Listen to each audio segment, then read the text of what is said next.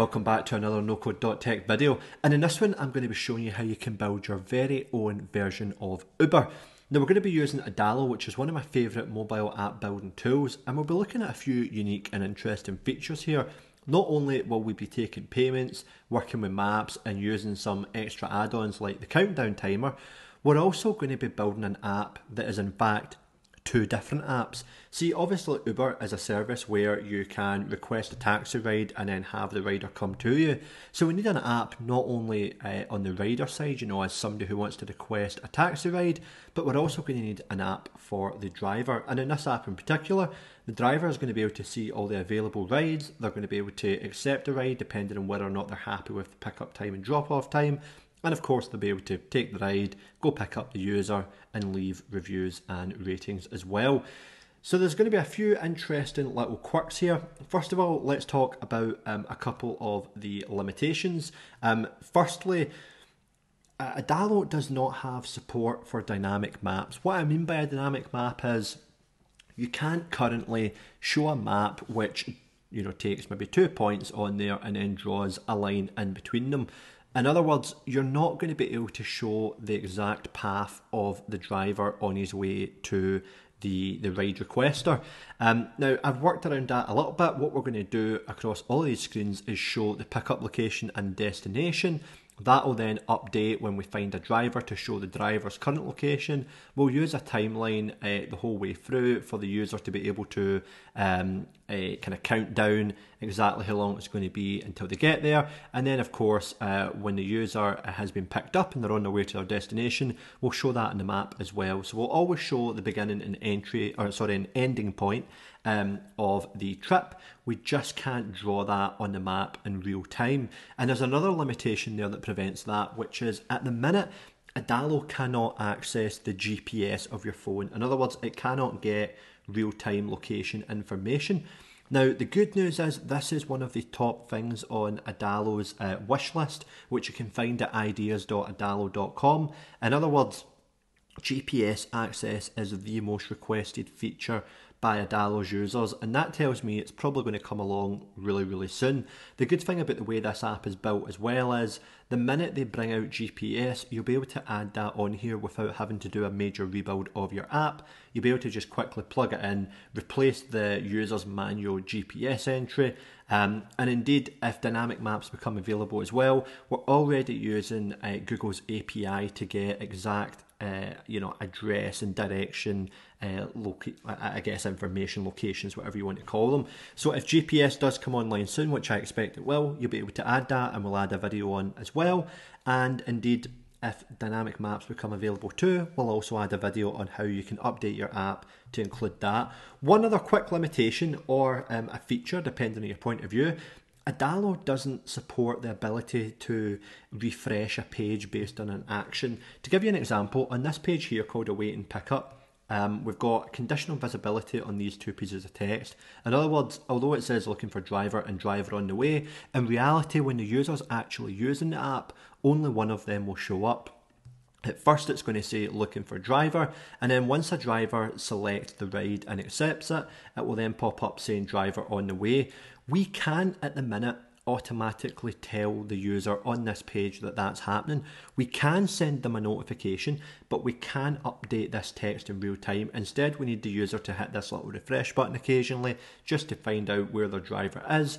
And what will happen is it will load this refreshing screen for a split second, it will then jump back, and that will cause the page to reload. So, a little bit of a pain that we have to do that workaround, but I call it a feature because it's a really, really handy little trick that you can use in plenty of other Adalo builds as well.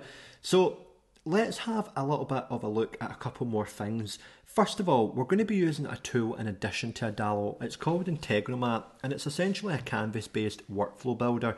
Um, I can drag and drop various different uh, you know, services, APIs, integrations onto this canvas and then I can drag and drop them around to create the workflow that I want. Um, this is really, really handy not just on Adalo but on any app builder because you can use it to extend the the power and functionality of you know be it Adalo, be it whatever app builder you're using. And so what we're going to do here is use this to get direction information and we're going to use that just to grab essentially how far if, if a user puts in the pickup address and the and the um, the destination address how far away is it? How long is it going to take to get there? How many miles is it going to cover? So we're going to use integromat to get that information. Rather than go and worry about the entire you know api call we'll use integromat's integration and we'll use adalo's custom actions to grab that direction information use it to calculate pickup time and drop off time and eventually let the driver know where to go. Sounds a little bit complicated, but it's actually really, really simple. I'll show you how this tool works in a separate video. Um, and so just to give you an exact idea of, of, of how the kind of logic works here, I threw together this little flow chart here. So the main part to pay attention to is the top. The user is going to sign up as a rider. They're then going to set their home address. So that might be 64 Zoo Lane, for example. Um, the user then at any point within the app can request a ride from their current address to some sort of destination address. Now the home address will be saved the first time the user logs in. So, you know, that's always going to be the default. But of course, if they're not at home, if they're in the middle of the town, for example, then, you know, they might want to change their address that they're going to be picked up from. That's okay. Our app can handle that. So they'll put in uh, their current address, a destination address. Our app will then, via Integromat up here, it will go to Google's um, distance API. It's actually called the Directions Matrix uh, API, I believe, um, but that sounds a little bit more techy. Um, but we'll go to that API, we'll find out how long the trip will take, um, and once we've got that information, we'll return that to Adalo, and the user will then be shown a map with both the pickup and the destination location, at which point we're roughly around here, awaiting pickup.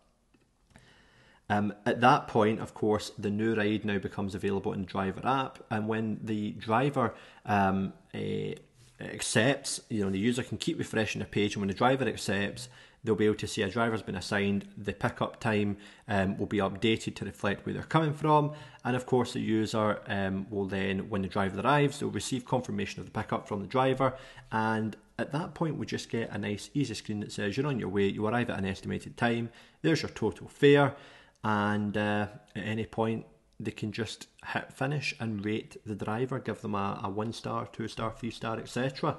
So that's how the flow is going to look. And then from the driver's side, um, essentially the user can sign up as a driver, they can set their home address again, um, and then you know they'll kind of see this screen. Let me just show you here. They'll see this screen, uh, which is almost uh, their equivalent of the home screen where not only does it show them their current address, but it will also show uh, the various different rides that are available. And when they select a ride, they'll be able to come in, see the details, and hit accept. And so what happens is they'll accept the ride, they'll drive to the pickup address in real life. Um, they then have a little button right here where they can say the user's now picked up. These two are set on conditional visibility, so the only option when the driver first hits this screen will be user picked up. And then on the second um, or sorry, once they've done that, they'll be able to hit user dropped off, the second button, and once they've dropped off, they'll immediately be taken to the rate the rider screen. So it's really, really simple. Um, it seems a little bit complex when it's first laid out, but actually, um, all we're doing is simple request, drop off, uh, pick up, done.